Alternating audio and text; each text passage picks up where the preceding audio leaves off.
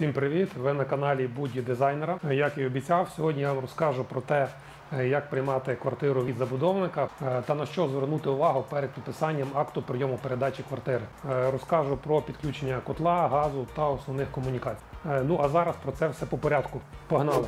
Е, Перед підписанням документів потрібно перевірити багато моментів та інженерних мереж квартири. І так, що має бути зроблено забудовником та вами до здачі квартири та початку ремонтних робіт. Е, Розказую все по порядку згідно процесу будівельних робіт, щоб ви могли перевірити себе, чи нічого важливого ви не пропустили. А також згідно даного переліку ви зможете перевірити, чи виконав забудовник е, всі необхідні роботи.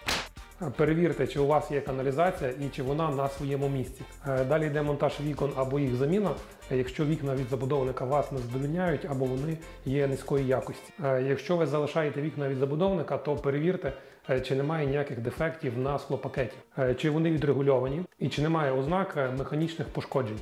Е, Зверніть увагу, чи утеплені у вас зовнішні відкоси вікон. Е, Має бути виконана герметизація е, зовнішніх віконних відливів, щоб вам не затікала е, вода в квартиру і щоб не задував вітер. Вслід за вікнами можете замінити і вхідні двері, якщо вони не належної якості або не підходять вам згідно вашого дизайн-проекту. Вікна і двері краще поміняти на початковому етапі будівництва, тому що зробити це вже в процесі ремонту буде набагато дорожче. Е, Про заміну та додаткову плату ви завжди зможете домовитися е, з вашим забудовником. Е, Далі зведення перегородок. Якщо у вас є дизайн-проект на квартиру, то домовтеся з вашим забудовником, щоб він же зводив перегородки згідно вашого проекту. Інакше потім потрібно буде робити демонтаж і все переробляти заново, а це додаткова трата часу та коштів. Далі змонтуйте всі силові деталі та закладні елементи для певних конструкцій. Е, Монтаж таких закладних деталей може бути як на підлозі, е, так і на стінах. Е, Частіше всього такі е, закладні елементи чи усилення конструкції потрібно для якихось додаткових навісних важких е, меблів. Це можуть бути якісь консолі, можуть бути розсувні системи або можуть бути якісь певні опори. Е, Далі підведення води та монтаж е, крана або заглушки. Е, Це потрібно буде для початку ремонту, щоб майстри мали де е, набрати воду. Е, Перевірте, щоб у вас був змонтований лічильник на воду. Е, Він може розташовуватися як в самій квартирі, як правило, в санузлі, або на загальному коридорі. Е, Купіть нові або додаткові радіатори та конвектори, якщо у вас є зміни до проекту і вони відрізняються від проекту забудовника. Ну, це частіше всього тоді, коли у вас є окремий е, дизайн-проект. І радіатори, які пропонує забудовник, вам просто не підходять. А можливо, просто хочете покращені радіатори. Е, Далі йде монтаж труб опалення саме до ваших радіаторів та конвекторів. Е, Якщо є відмінності від проекту забудовника та додаткова робота, е, то домовтеся з забудовником, щоб він вже виконував монтаж труб згідно ваших нових радіаторів, конвекторів та дизайн проекту. Потім потрібно підготувати місце для котла та підвести до нього необхідні труби опалення та комунікації е, для радіаторів, е, рушникосушок і підігріву підлоги, якщо вона є. Також має бути змонтована електрична розетка для підключення самого котла. Е, Перевірте наявність е, вентиляційних каналів, димового каналу е, та їхню тягу. Е, Далі штукатурка стін або відмова від неї, якщо ви сумніваєтеся е, в якості штукатурних робіт забудовника. Е, Якщо ж е, штукатурку буде виконувати вам забудовник, обов'язково перевірте її якість і подивіться, чи вона дійсно рівна.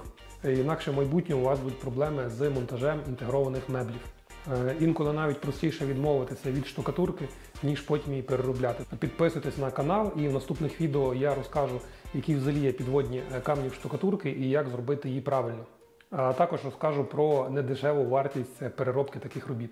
Е, Якщо ж ви з якихось причин ще не змонтували до цього часу закладних елементів, е, то саме зараз е, краща можливість це зробити, бо потім довбати готові стіни чи підлогу буде досить дорого. Потім йде монтаж радіаторів та підлогових конвекторів по проекту забудовника або по вашому дизайн-проекту. Після того вже йде монтаж центральної газової труби. Швидше всього вона вийде там, де вийде, і деколи вона появляється в зовсім небажаних місцях. Далі вам мають підвести тимчасову розетку і електричний автомат.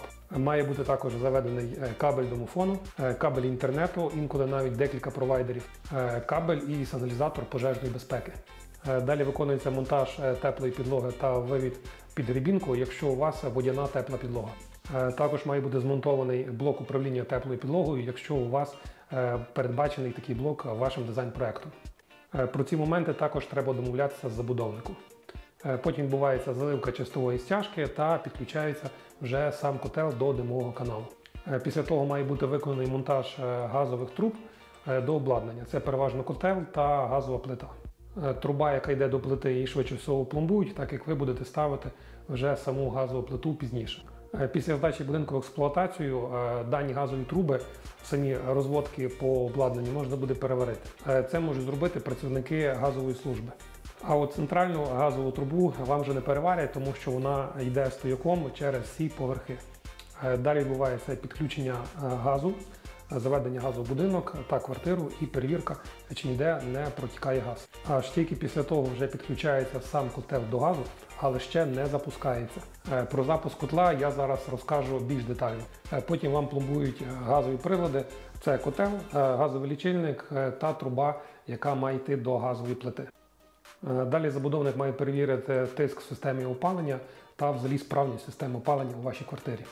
Е, Вам потрібно буде припильнувати, щоб вам закільцевали е, вашу систему і в місцях, де немає радіаторів або рушникосушок, потрібно буде поставити заглушки.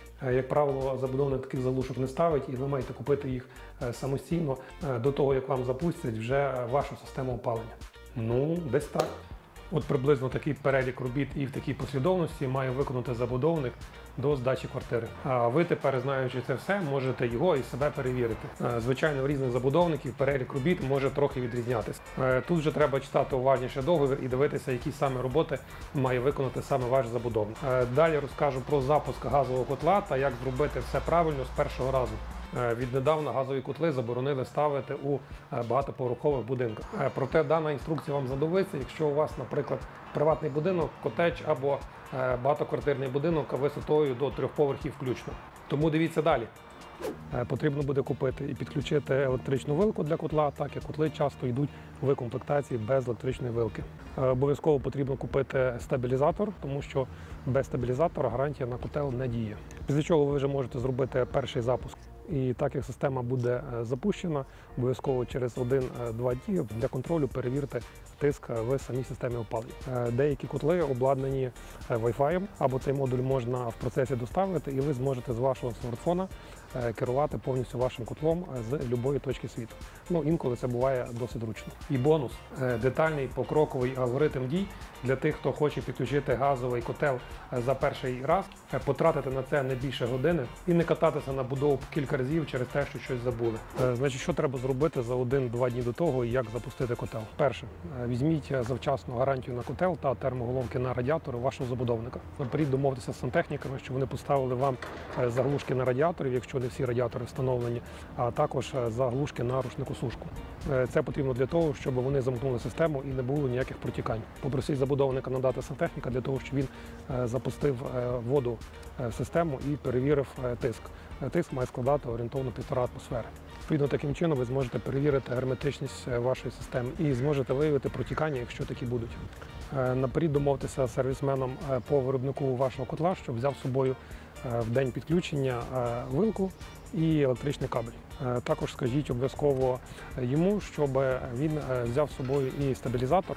Е, За стабілізатор, за вилку і за кабель ви зможете розрахуватися вже на місці після того, як він запустить вам котел. Перед тим як е, кликати спеціаліста для підключення котла, обов'язково знаєте, чи у ваш будинок вже завели газ і чи нема там ніяких проблем.